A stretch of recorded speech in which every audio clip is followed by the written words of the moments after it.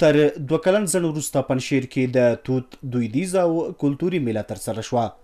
د دې جشنواري او کلتوري میلې د پرانیستې په مراسمو کې د اطلاعات او کلتور وزارت او د پنجشیر پر ځایي مسولینو سره بیره شاعرانو، لیکوالانو، فرهنګیانو هم ګډون کړی وو. د اطلاعات او کلتور وزارت معین وایي دا ډول فرهنګي میلو نمانځل د ملي یووالي او په یو فکر د خلکو راغونډولو لپاره اړینې دي. نو دا یو ډیر یو یو د به د توتو د میلې په نامه باندې دا د تعارف او د پېژندګلوۍ لپاره ډېره یو ښه غونډه ده او بله خبره الحمدلله موږ تاسو په دې باندې متیقن یو چې د افغانستان ټول ولس دا یو ملت دی یو ولس دی یو هدف دی د یو کار لپاره کوشش کوي چې هغه د الله جل جلاله دین په دې ځمکه نافذول دي او دا خلک چې خلکو به ډېر کوششونه کول چې په یوه نامه او په بل نامه باندې دا سره بیل کړي یا ډېر کوششونه کړي وغه الحمدلله ټول د خاور سره خاورې دي او په دا اوس میدان کې دې عمل عمل ثابت کړل چې دا تفریقې چې خلکو فکرونه کړي و یا په دې باره کې کوششونه کول یا سره مېوزاري کړي وي ټول د خاور سره خاورې شوي دي د پنجشیر والی بیا خلک ملي یووالي او د نظام ملاتړ ته رابولي نوموړي ډاډ څرګند کړ چې هېڅ وسله والې ډلې ته به اجازه ورنه کړي چې د دې ولایت امنیت وننګوي. در بین امت مسلمه تفرقه بندازن و امت مسلمه را فرقه به فرقه تقسیم کنن ولی الحمدلله رب العالمین که مسلمانای امت اسلامی بیدار و هشیار هستند و رهبراو زعماء امارت اسلامی افغانستان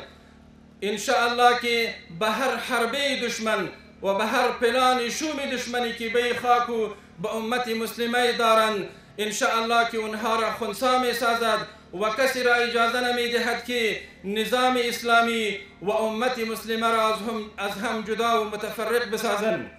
په همدې حال کې د یاد ولایت د اطلاعات او کلتور ریاست مسؤلین وايي، هڅه کوي په پنجشیر کې هغه دودیزې مېلې او کلتوري ورځې بېرته راژوندۍ کړي چې د تېرو څو لسیزو په جګړو کې کمرنګې شوې وې. ان شاء الله موږ امید لرو او تعهد هم لرو چې آینده کې هر عنعنوي میلې چې د پنجشیر ولایت دی هغه موږ را ژوندې کو او بیا ونیسو ډیر پروګرامونه د نوي کال ته ان شاء الله پنجشیر ولایت ته موږ لرو.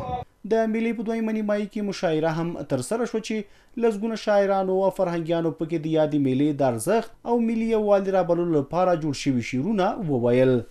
توت ما بهتر تر از شهد و شکر قیمتش والا تر از در و گهر از تمام میوه ها بهتر تر است. باید یادآوری بکنم که در نظر دارند دوستان فرهنگی و ریاست اطلاعات فرهنگ پنشیر تا این جشنواره را گسترش بدهند تنها محدود به ولایت پنشیر نکنند و یک اجتماع شاعران از شرق و غرب از تمام ولایت افغانستان در یک مجتمع جمع شوند و این جشنواره را گسترش بدن و این از